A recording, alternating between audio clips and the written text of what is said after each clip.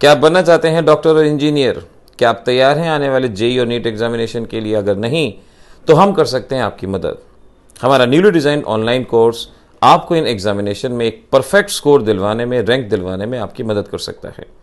Visit कीजिए demo lectures के लिए www.chemistryvideolecture.com पर। इंपॉर्टेंट टॉपिक्स आज हम बताने वाले हैं आपको। चैप्टर है हमारा इलेक्ट्रोकेमिस्ट्री इलेक्ट्रोकेमिस्ट्री के अंदर सबसे पहले आप कंडक्टिविटी के पोर्शन को तैयार करेंगे। Conductivity specific conductivity molar conductivity equivalent conductivity ध्यान रखिएगा। आपने मोलर और इक्वेंट कंडक्टिविटी के बीच के रिलेशंस को करना है। सेल कांस्टेंट किस तरह से फाइंड आउट किया जाता है पता होना चाहिए। कोलराश लॉ की डेफिनेशंस आनी चाहिए आपको। फेराडेज लॉ के न्यूमेरिकल जो एन में हैं एन में तीन चार न्यूमेरिकल हैं फेराडेज लॉ के, वो आपको अच्छे से कर लेने हैं। Faraday first law second law दो लॉ हैं। इनके न्यूमेरिकल्स को आपने वहाँ अच्छे से करना है। ध्यान रखिएगा फेराडेज लॉ के अंदर इलेक्ट्रोकेमिकल इक्विवेलेंट किसे कहते हैं? ये डेफिनेशन भी होनी चाहिए। और न्यूमेरिकल तो मैंने एन e के आपको बताई दी बीच से बाहर जाने की आपको कोई ज़रूरत नहीं है। फिर आपको इलेक्ट्रोड पोटेंशियल इलेक्ट्रोड पोटेंशियल किसे कहते हैं? ईएमएफ e सीरीज़ क्या है? और ईएमएफ सीरीज़ की एप्लीकेशंस को करना है। इन एप्लीकेशंस में ख़ास तौर पे आपको स्टोरेज ऑफ़ सोल्यूशन इस तरह का क्वेश्चन आता है कि क्या कॉपर सल्फेट का सोल्यूशन जिंक वेसल में स्टोर हो सकता है?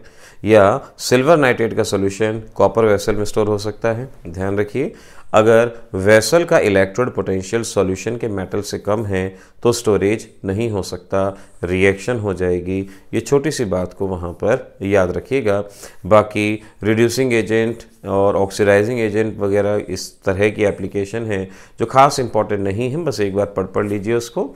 लेकिन स्टोरेज ऑफ़ सॉल्यूशन के एप्लीकेशन पे बहुत अच्छे से गौर करना है।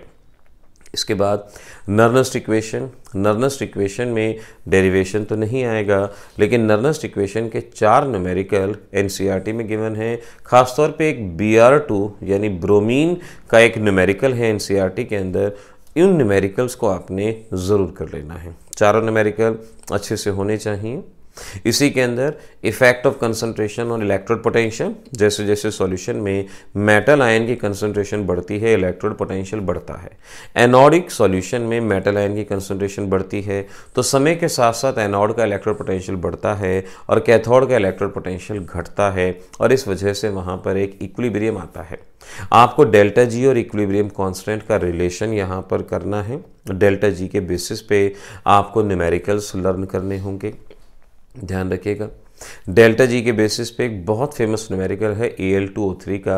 हर बुक में है A L two O three delta G is equal to minus N F E not फार्मूले पे बेस्ड है। वहाँ पर स्टूडेंट से गलती एन फैक्टर निकालने में होती है। तो A L two O three का ये न्यूमेरिकल एक बार बुक में से ज़रूर गो थ्रू कर लीजिएगा। आपके लिए बहुत ही ज़्यादा ज़रूरी होता है। उसके बाद फ्यूल सेल फ्यूल सेल किसे कहते हैं? फ्यूल सेल के example methane O two H two O two methanol O two तीन तरह की फ्यूल सेल के एग्ज़ाम्पल को रटना है आपने।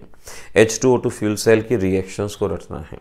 बच्चे क्या करते हैं? आता है क्वेश्चन राइट द रिएक्शन वो लिख के आते हैं H two plus half O two gives you H two हर किस नंबर नहीं मिलेंगे।